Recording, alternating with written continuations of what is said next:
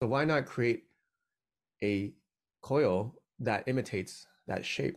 And what we found is actually it works a lot better, uh, probably a hundred times better than the traditional PEMF devices based on that fact alone.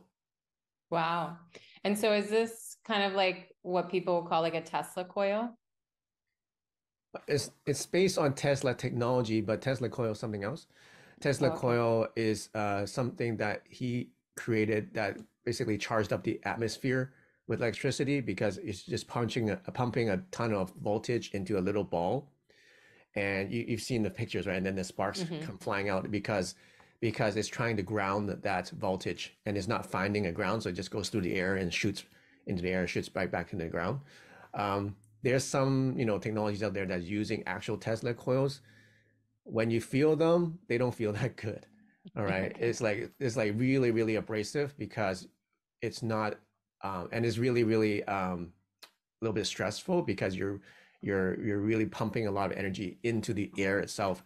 It's not really like how many people get meditation or get into deep consciousness states when you get struck by lightning?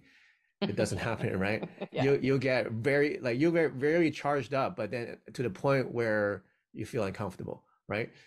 What we do is we use the natural way that our actual chakras are shaped.